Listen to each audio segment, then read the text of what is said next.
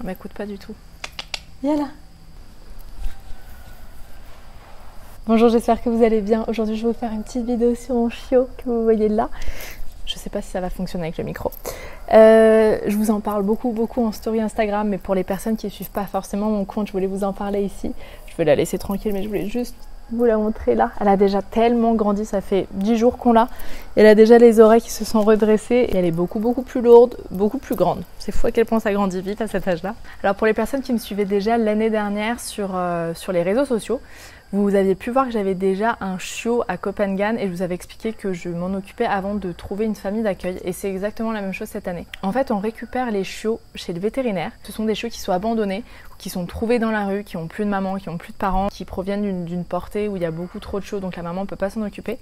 Et donc en, général, les gens les apportent chez le vétérinaire ou c'est le vétérinaire qui les prend euh, lui-même dans la rue. Et en fait, euh, ensuite, pour s'en occuper, parce que vous imaginez bien que le vétérinaire ne peut pas faire tout tout seul, il demande à des familles d'accueil en gros de s'en occuper, de leur donner de l'amour, de s'occuper des soins, pour leur trouver ensuite des familles, euh, des familles d'adoption ici sur l'île, des familles qui peuvent les accueillir longtemps ici. En fait, moi je suis vraiment là pour lui donner de l'amour, pour la sociabiliser. Mon travail ici, c'est de trouver des gens qui habitent sur l'île qui, et qui veulent un chien. Et c'est pas très facile parce qu'il y a beaucoup, beaucoup d'expats, effectivement.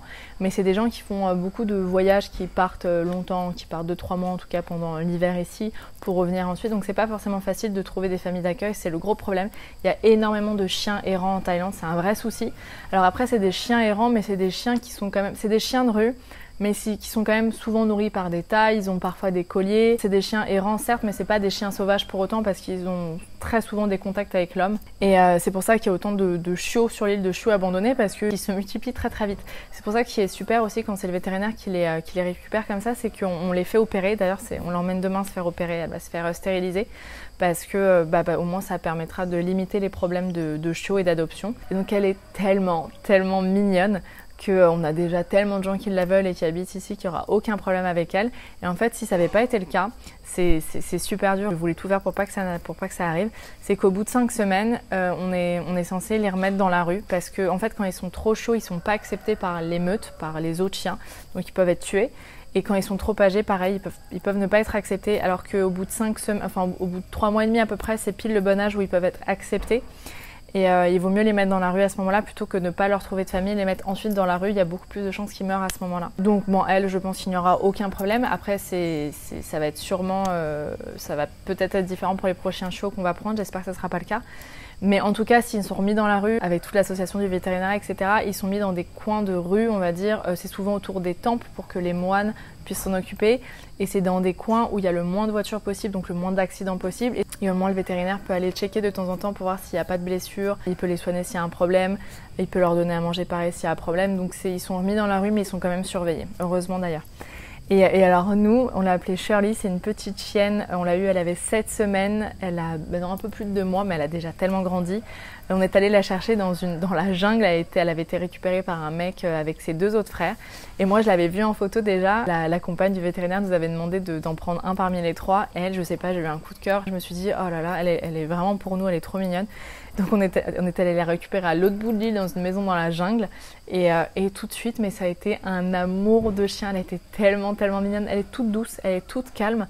On se disait mais c'est pas possible, il y a un problème. Elle nous cache quelque chose au début parce que euh, elle dormait tout le temps. On l'a laissée euh, la nuit dans le salon en fermant toutes les portes. Il n'y avait aucune bêtise. Elle ne pleurait pas. Elle était toute calme, toute gentille, elle fait des câlins, elle saute pas du tout sur toute la bouffe, elle ne pleure pas, elle fait des câlins, elle est hyper intelligente en 2-3 jours, on a, elle sait déjà s'asseoir, donner la pâte au moment de manger, tout. Enfin bref, c'est un bonheur ce chien. Et euh, je pense que ça va être très très dur pour moi de m'en séparer. Le problème, parce que vous êtes nombreuses quand même à me dire, mais pourquoi tu la ramènes pas? Pourquoi tu la pourquoi tu l'adoptes pas, c'est que euh, bah déjà il faudrait que je la ramène en France et pour ça il y a des procédures. Les douanes sont un peu compliquées donc il faut faire des prises de sang, il faut lui faire faire un passeport il me semble, donc ça prendrait des mois. En soi j'ai le temps, mais c'est juste que, ok, pour la ramener à Paris, déjà, je suis même pas sûre, je sais même pas qu'est-ce que je vais faire en rentrant, où est-ce que je vais aller. Et c'est surtout pour la mettre à Paris, pourquoi faire en fait Elle va être malheureuse chez moi. C'est parfois un peu dur à dire et ça va sembler bizarre, mais je pense que les chiens de rue, les chiens errants, ici sont beaucoup plus heureux que des chiens euh, dans les appartes à Paris. Ici, ils sont, sont pas maltraités, ils sont dans la nature, ils sont libres. Et, euh, bon, je préférerais mille fois qu'elle soit dans une famille. Hein. Loin de moi l'idée de la mettre dans la rue mais elle va pas être heureuse à Paris. Donc la ramener juste parce que moi je la kiffe et parce que moi je, moi je la trouve trop mignonne, ça serait totalement égoïste de ma part. Même si, euh, même si j'aimerais. Hein. On n'en est pas encore au bout, je sais pas encore exactement comment vont évoluer les choses, mais euh, ça serait très égoïste de ma part, je pense, de la ramener à Paris et la laisser dans mon appartement. Voilà, c'était le petit épisode sur, euh, sur mon petit chiot. Je voulais quand même vous la présenter parce que c'est vrai que je, vous ai pas mal, en ai pas mal parlé sur Instagram et vous allez la voir dans mes prochaines vidéos. Donc je vais vous dire un peu ce qu'il en était et je pense qu'il y aura, euh, que demain on va aller récupérer son frère aussi. elle a un autre frère qui, bah, qui a exactement le même âge, hein, c'est la même portée et il est beaucoup plus musclé, beaucoup plus fort, mais il est beaucoup beaucoup plus craintif. Donc je pense qu'il va être plus compliqué à élever. Mais euh, c'est pour ça qu'on le prend avec elle pour qu'il puisse sociabiliser et, euh, devenir, en fait devenir plus facilement adoptable par des familles parce que les familles veulent pas des chiens qui sont hyper craintifs ou très très durs à éduquer. Nous en fait on fait le premier travail. Je vous retrouve demain pour une nouvelle vidéo. À demain.